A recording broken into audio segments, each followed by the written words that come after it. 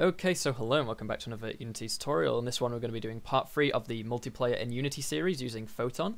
In this video we're going to be adding camera movement so we can actually move our mouse and control the camera around our player and be able to follow our player around. And then we'll also add some little shooting thing where we'll fire off a projectile in the direction we're looking. We're not going to get into doing damage this video and dying or anything and respawning, just simple aiming and moving is for this video. But of course, first, before we get into any of that, I need to thank my patrons. A special thanks to Flowstate Games, Average Morning, Art Farrell, Bidaray, Remy Baldwin, and Fullborn.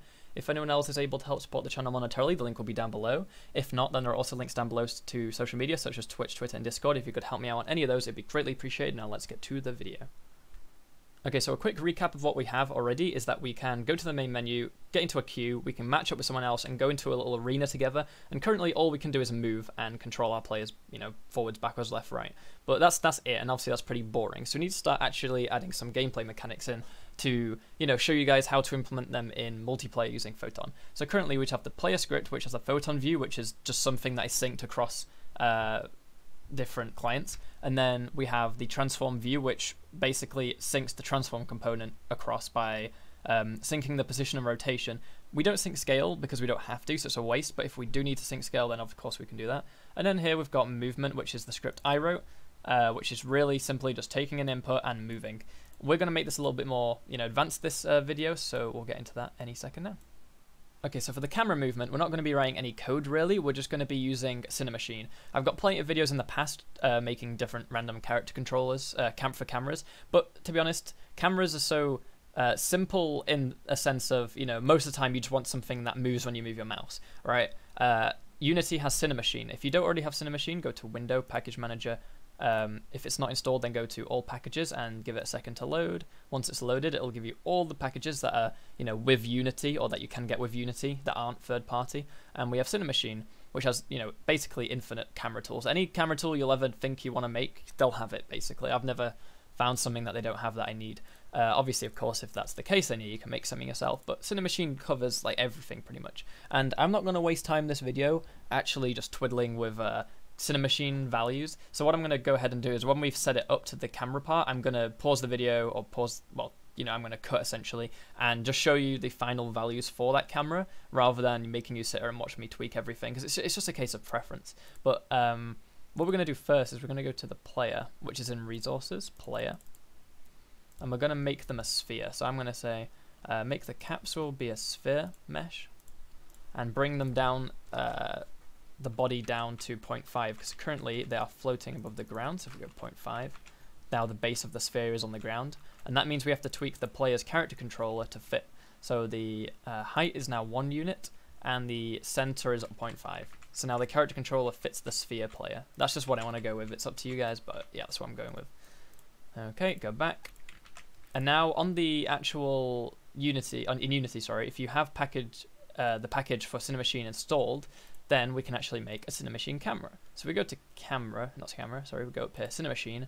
Uh, we're going to go for a free look camera, which is the one that's set up to allow you to rotate and orbit your character. Now, it wants a follow and a look at, which is going to be our player in both scenarios. The one problem is we have to spawn in our player across the Photon network at runtime. So the solution I go with, which I mean, if any of you guys have a better solution, feel free to let me know. But we have this camera in by default, and the player spawner up here knows about this camera. And because the player spawner spawns in the player, when it spawns it in, we get back the game object instance of the player. And what we can do is we can then tell the camera component in here to start following that new player, so that only your the camera only follows your player on your client. So that's what we're going to do. We've got the camera here. Let's obviously not bother setting up anything yet. We'll just leave it how it is. We'll call it uh, the camera underscore player. Now, if you're not familiar with Cinemachine, this isn't actually a camera. It's just camera movement. And it feeds, if we go to the actual camera over here, it has a Cinemachine brain component. This is actually the output. This just allows other Cinemachine components, like this one, to move that camera. Um, yep.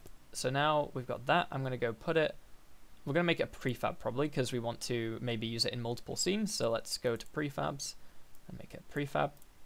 And we'll go put it there. So the player spawner now needs to reference that. And if you look at the name of the script, it's a Cinemachine free look. Okay. So if we go to the player spawner, we're going to add a field, serialized field private Cinemachine free look. Okay. And if you mouse over it, it'll want you to import Cinemachine. And we'll just say player camera. Okay, so we're going to drag that in in the inspector. And on start, when we spawn in the player, we're going to say uh, like var, var player equals that. So this is the cached player, okay? And then we want to say, well, player camera dot, and we want to look what we want to set. We want to set the when it's compiled follow and look at. So dot follow is equal to, and what does it want? It wants a uh, transform. So we're going to set it equal to the player instance, but it's not happy because that's a game object, and it wants the transform of it. So dot transform. Then the player camera dot look at is going to be equal. Wait, was there a function for that? Or was it just? Uh, yeah, it's we want to set the property player dot transform. So we're going to set both those fields when we spawn the player in here, the follow and the look at. Um, all we need to do now is tell the player spawner to know which camera that is, the player camera over here, and then that's good to go. So whenever we spawn in a player now, it should uh, have the camera follow our instance. Now we could go and build and test this, but I want to actually just set up the camera first. So let's do some testing. Let's drag in the player to the scene, set him to zero, yep, and tell the camera manually, remember we'll have to reset this, to follow the player and track them. Okay, here it is, it's looking at the player, but we want to actually set these up. So I'm going to go ahead and skip now, as I said I would, set up all these settings, and then get back to you guys. Okay, I really haven't changed too much, but I'll go ahead and show you what I have changed. So we're saying the follow and look at is the player, obviously we're going to change that in a second. Uh, common lens on, standby update, never, that's not really that important. The main important things are the rigs here. So make sure top rig, if you want to go the same settings as me, is 4, 5, then mid is 2, 4, and then bottom is 0.2, and then 3. And then down here, the only thing I've changed is on each of the aims, make the Y offset be 0.5, because otherwise we're going to be staring at the origin of the player, which is the bottom, his the base of the sphere. We want to have the center of the player be the actual center, which is 0.5 units up on the Y. So I've just set all those to 0.5, and that's all I've changed. Everything else is default.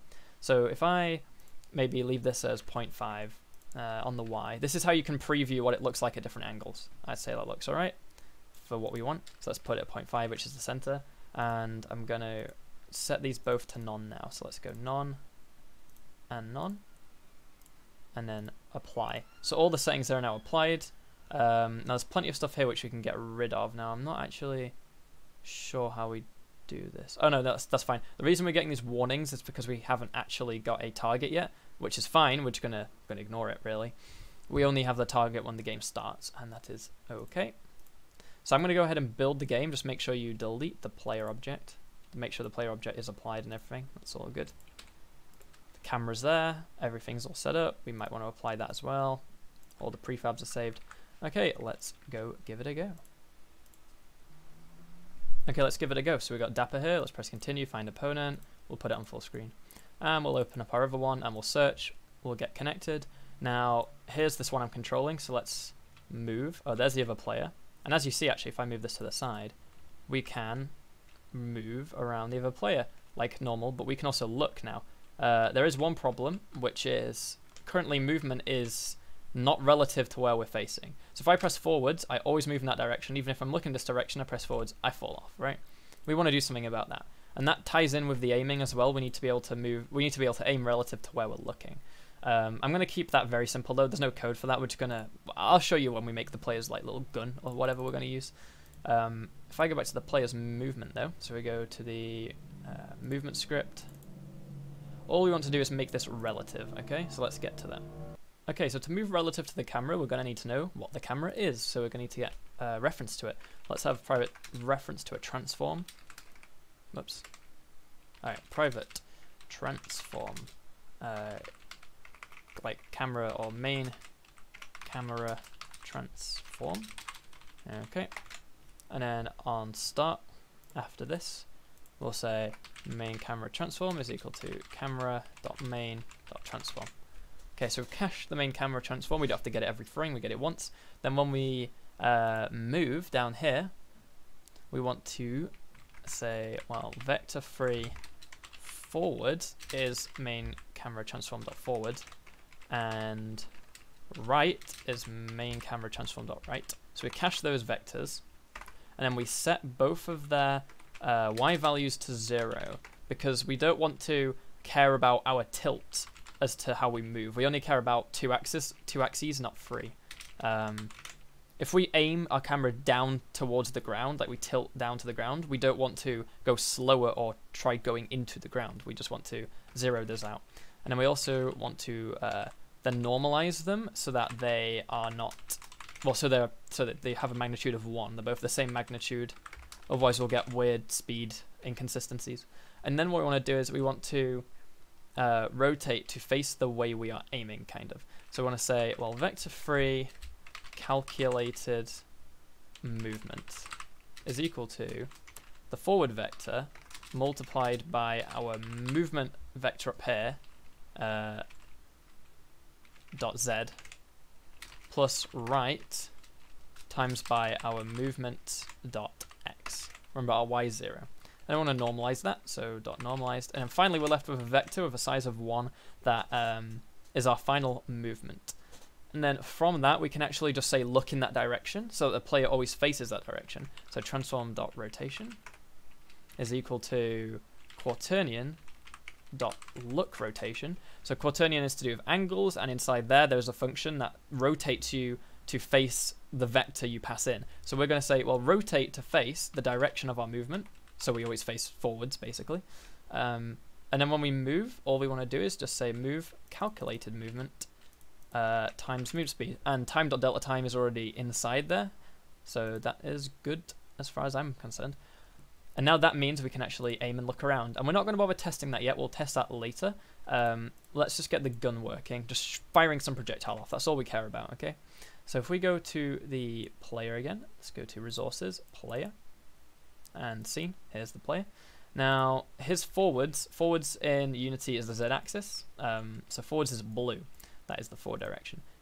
So if we want to um, fire something off in the way we're facing, we'll fire it in that direction. We'll put a gun aiming in that direction.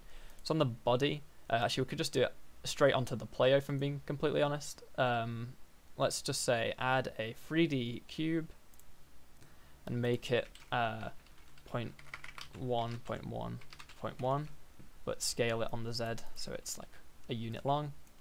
And we'll set it at a Y of 0.5 so it's in the center. And let's actually put point, whoops, on the Z, how far forwards is it? Well, it's probably 0.75. Uh, it depends how big we actually make this. So we could just stick that on the end. So that's his, that's his little gun, right? It's aiming in the direction he's facing, and we're going to spawn projectiles out of there, okay? I think that makes sense. We'll call this, like, weapon. Okay.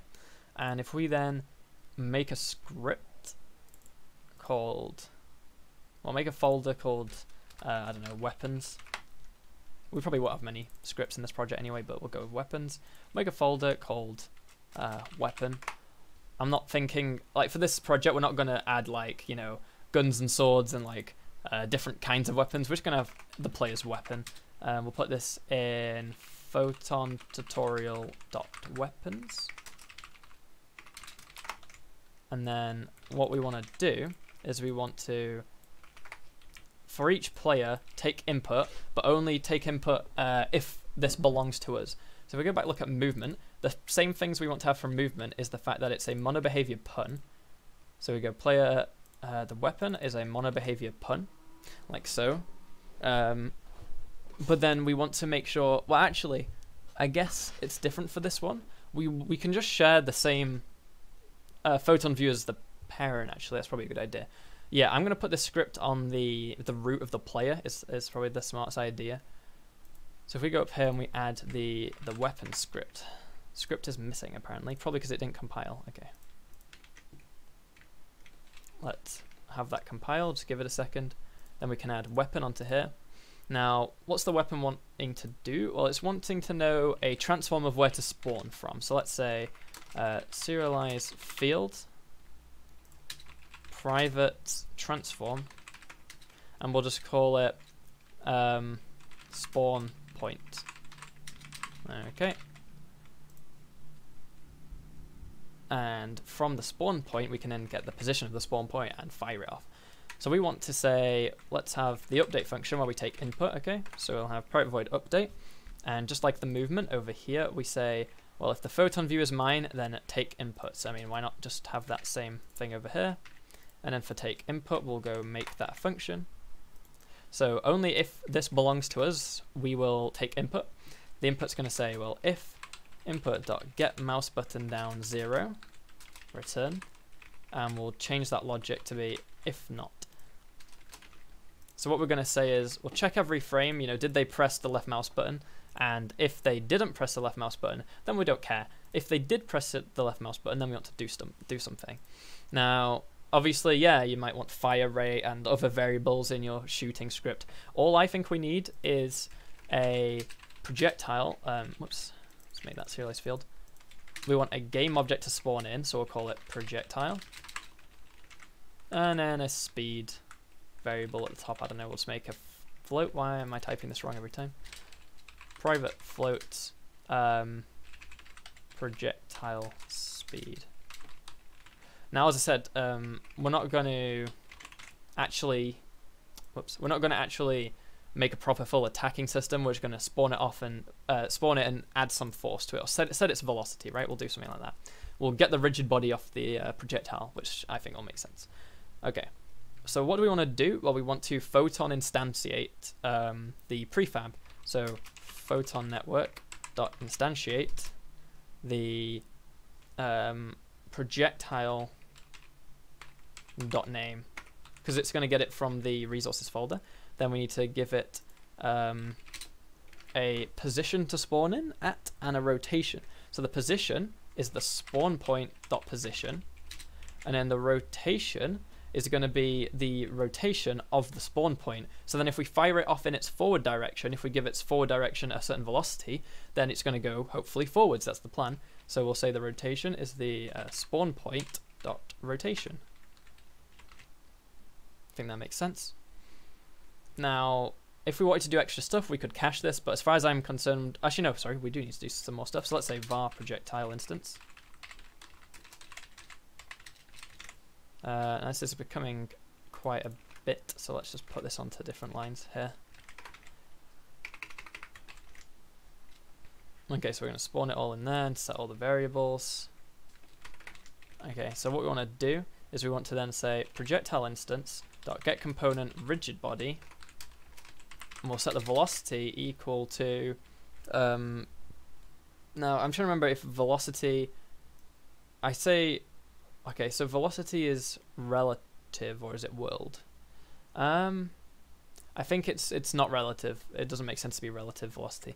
So what we'll need to do is we need to figure out essentially which velocity what velocity we need to give it based on which direction it's facing so the way we're going to do this is we're going to say, well, we need to get its forward vector of the projectile and then add for uh, and then multiply it by the force or the speed. We've chosen to go with speed. So we're going to say, well, the velocity is the projectile instance dot forward, or sorry, dot transform dot forward, times by the projectile speed. And that's the that's where we want to fire it off at. Okay.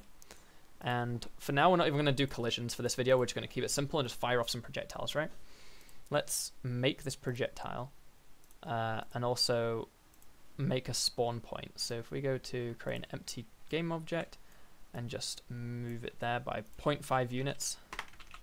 Now 0.5 is right on the end, but we might want to put it at like 0.6 so that it doesn't spawn inside the thing. So 0.75. And we'll call this um, spawn point. Going to drag that in here to the spawn point and the projectile's a prefab. Let's go make it. So we're going to make a sphere with no collider and we'll make it uh, very small, little bullet thing. We'll go to resources and make it a prefab. So we'll just call this projectile. Projectile, there we go. And maybe that's even still too big, we'll see. Uh, what if I was to spawn that on there. Wait then unattach it and then put it to its actual scale which is 0.5 what about 0.25 0.25 0.25 that's perfect. Yeah I want it. Okay that's what I want. So projectile is 0.25 0.25 0.25 and there it is.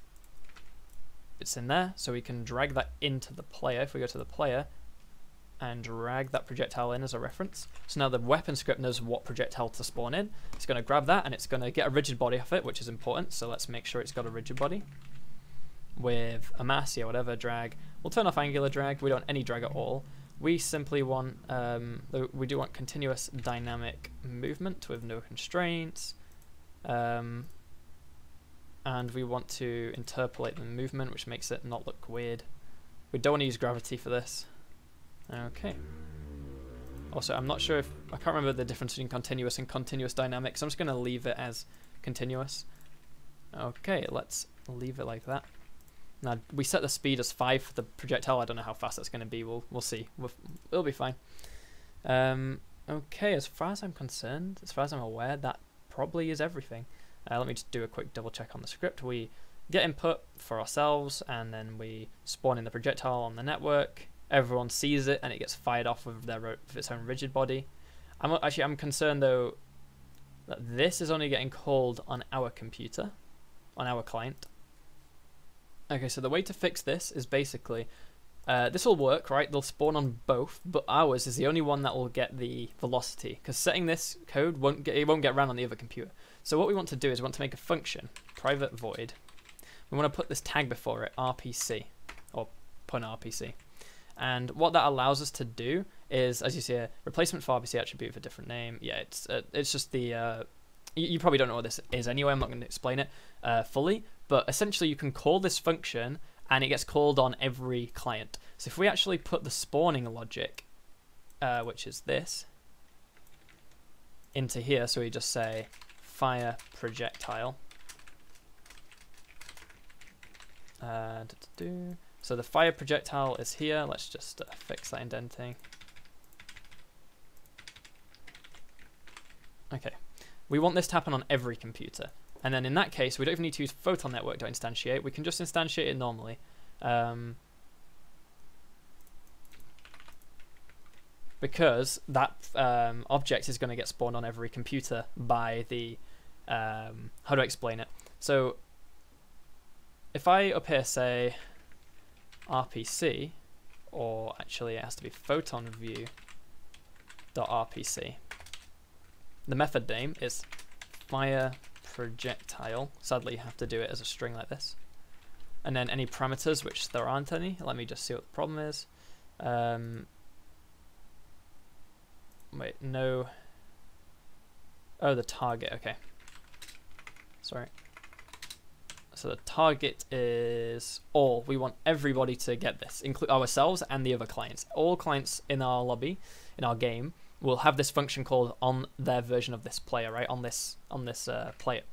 So they'll all fire a projectile off. They'll spawn in this prefab. They all have access to prefab. They'll all spawn it in, and they'll get the rigid body component and fire it off. Everyone will do that on their own computer, and that will hopefully sync it across everywhere. Now, technically, oh, there could be problems where someone's computer doesn't quite doesn't spawn in, it doesn't happen. That's why we've got to make it a bit more robust in the future. But for now, this is just what we want, which is good. Um, so we call RPC only if it's us, and then everyone actually fires it off. So we're the only one who can shoot from our own player, but everyone sees it happening and uh, simulates it. Okay. So now I'm going to go onto the player and make sure it's all fine, which it is. So let's go test it. Let's go file, build, run, and I'll see you guys soon. Okay, I just had a little test of it before, uh, obviously I showed you guys just to make sure it all works. So as you can see here, here's our player in the middle, then if I tab out to this other player, you can see if I move around, which works, and I can also left click to shoot in that direction, and it all works just fine. There is only one problem, there's only one slight concern, which is the movement of our gun thing um, the the main problem is when we're not moving, it sets it back to there in that direction, which is zero because we're not we don't have any input. We only want to set it back if um, we actually if we actually mean to do that. And also, it's probably best if we start to think about it. Um, as you see, the rotation of our player is smoothed, whereas on our own it's snapped because we haven't told it to smooth. But the network just tries to smooth everything to make it all seem correct. Now, that's technically problematic because we might both see projectiles going slightly different locations because um, on ours we fire it instantly and on the others it smooths and fires it, which is kind of a problem. Now we won't worry about the uh, little bits like that right now because that's only we'll need to worry about that when we get a bit more serious of it in the upcoming videos. Uh, we just need to do the last thing right now, which is fix the movement. And I don't even need to show you an example of this working because it well it's pretty easy to work. All we want to say is um, we want to make sure that the calculated movement vector is not zero before we try and actually move. If we're not moving at all, if our calculated movement is just zero, vector 3.0, because we haven't moved on the z or the x, then we don't rotate our character. So if the uh, calculated movement does not equal vector 3.0, then do this. And then that's it. And that's done for this video. So I hope you guys, you know, learned something in this video. Hope you guys enjoyed the video.